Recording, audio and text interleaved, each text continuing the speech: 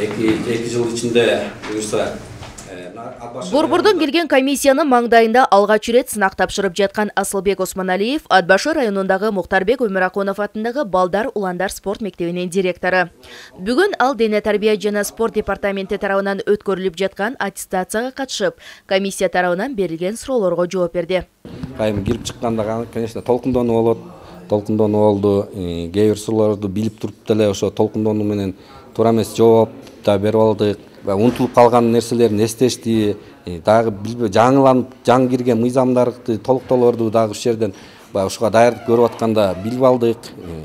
бул аттестация бизге керектүү нерсе бул ушундай бир эки үч жылда бир өтүп турса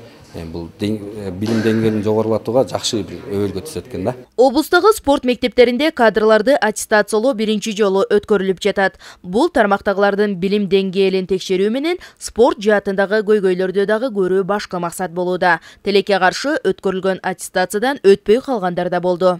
бул аттестациянын максаты ушул иштеп аткан адамдардын мамлекеттен айлык алып аткандарын ушул адамдардын кичине мындай жоопкерчилигин ойготуу максатында өткөзүп жатабыз. Анан ушул